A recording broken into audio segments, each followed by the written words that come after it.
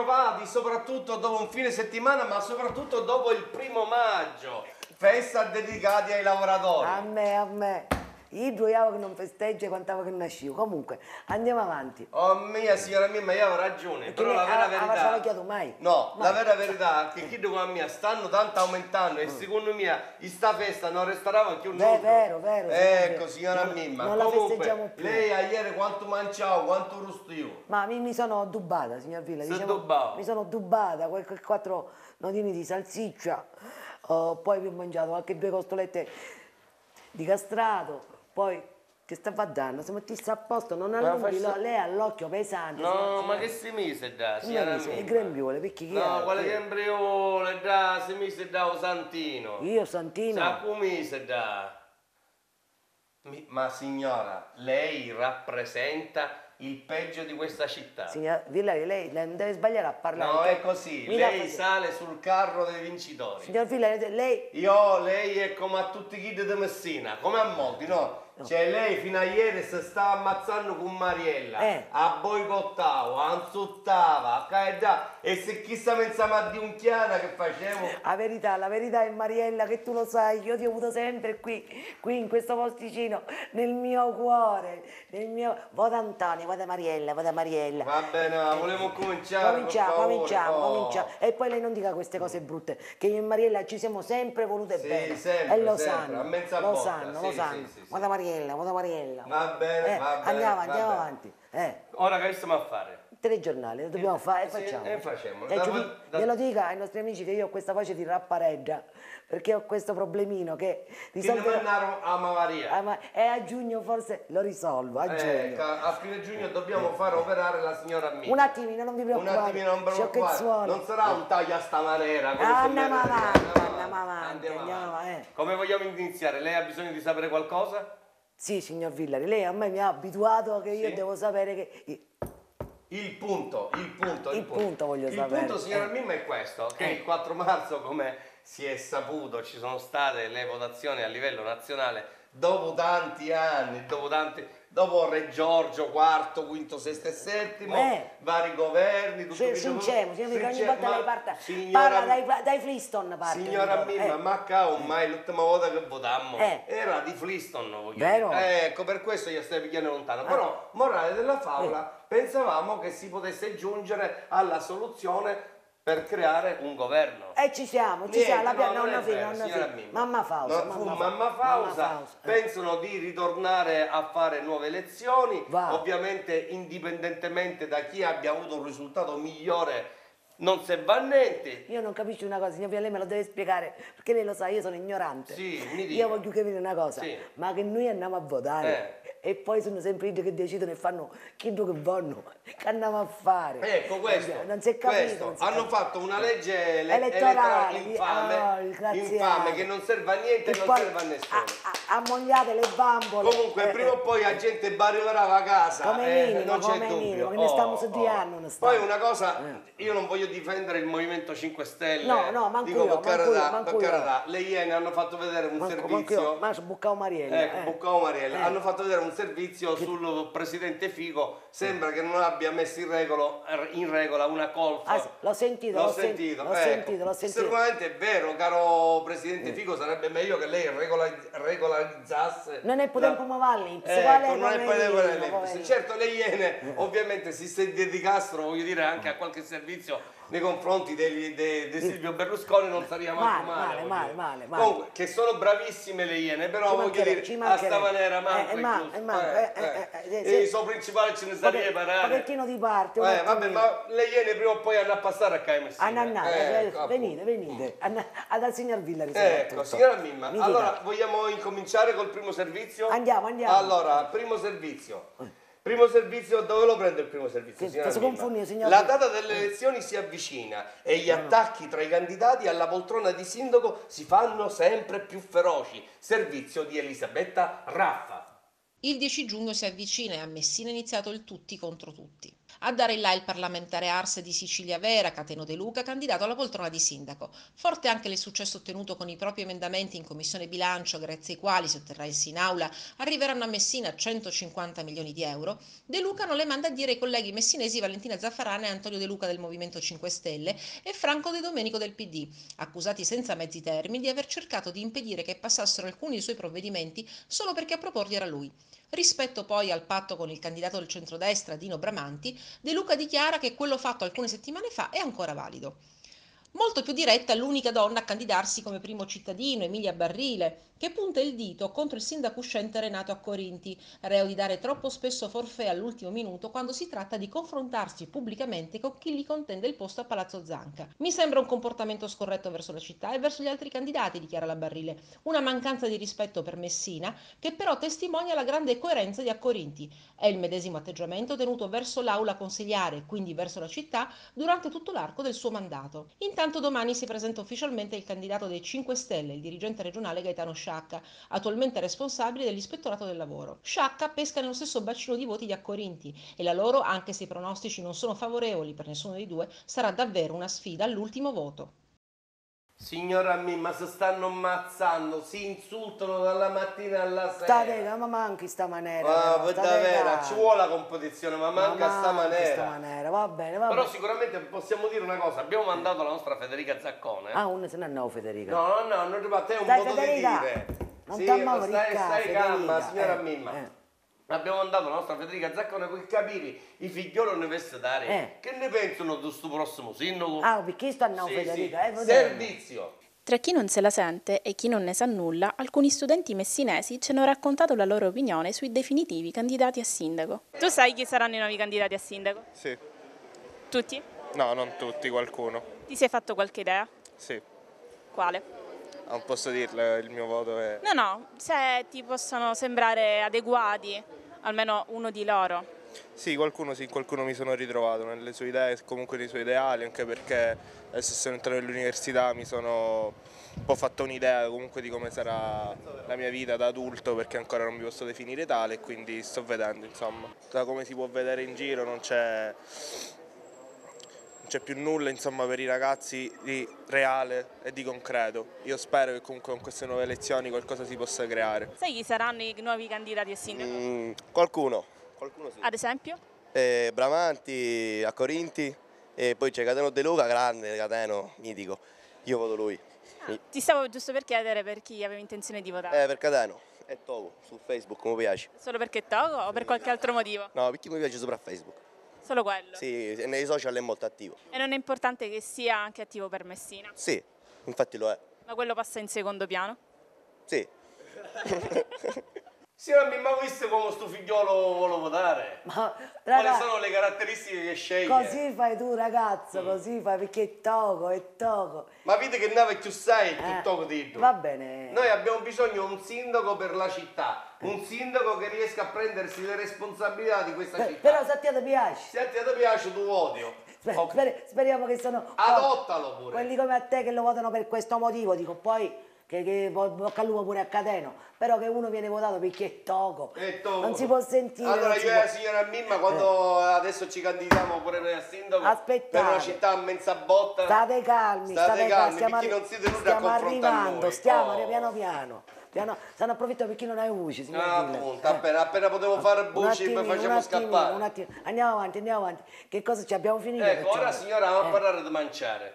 Ah, pronto, pronto, pronto. No, pronto, certo, quando si parla di mangiare, però pronto, signora, Pronto, pronto. dobbiamo parlare di cibo Eh. nei confronti di piccirilli, dobbiamo parlare delle mense scolastiche. Ahimè, ahimè, e perciò io vado col Mi sta cappello. facendo scasare un cuore Eh, stasera, sì, signora mia. Devo Perché- andare col cappello. Vada, vada, vada, vada col cappello, vada col Da cappello. due anni gli anni... Ah. Ricomincio.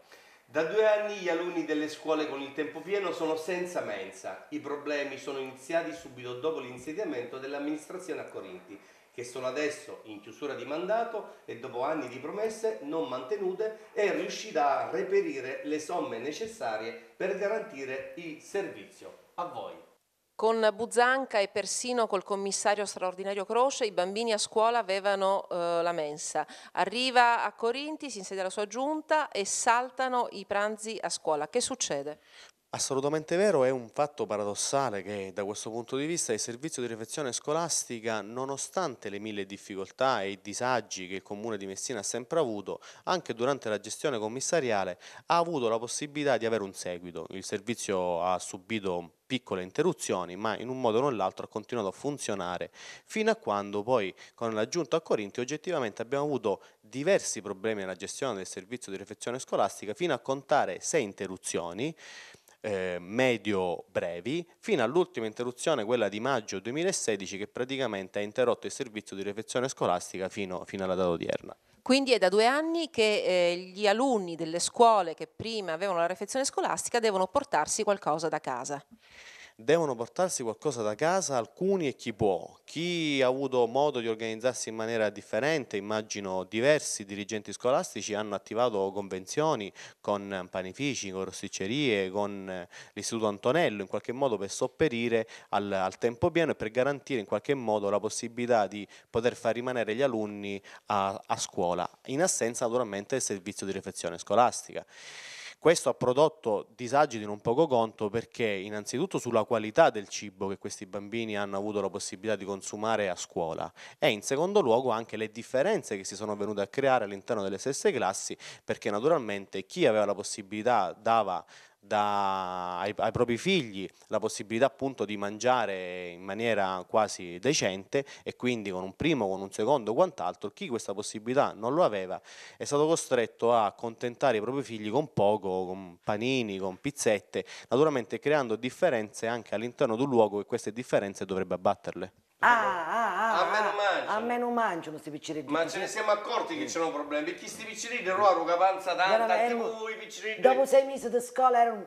A sta maniera. Tutti smanciati, come si dice? Smanciati, smanciati. Sì, sì, sì. Tutti smanciati. E manciati, tu come chi è? Non c'è, smanciati a vernici. I piccirilli, tutti oh. maciati. Meno male che voglio dire, eravamo, voglio eh. dire in prossimità dell'estate che mensa così ora si ripigliano i così si ripigliano così sole. avranno un'estate come dire al meglio. al meglio. Al meglio. a Fonemmo ora. A Fonemmo andiamo avanti va andiamo no, avanti. signor Villa quando andiamo avanti. Tre eh. servizi abbiamo finito. No signora come? ce ne sono altri due ne stiamo facendo tutto a uno? Sì, signora. Abbiamo avuto un cambio. Che nicchia stiamo... che no. Noi lo sa che dobbiamo. Cinque servizi? Sì, sì, noi dobbiamo sperimentare cose nuove. Possiamo andare avanti? Ma lei lo fa apposta perché sa che io non hai usci. Non posso. No, signora. Mi vuole fare lavorare signora Mimma. Mi vuole muta. No, io non è che la voglio muta, signora eh. Mimma, però voglio dire, lei non può parare. Io non so leggere. Ah, ok, ok. Mandiamo i servizi. Mandiamo i servizi, perché che vuole che le dica? C'è il quarto? C'è il, quarto, quarto servizio.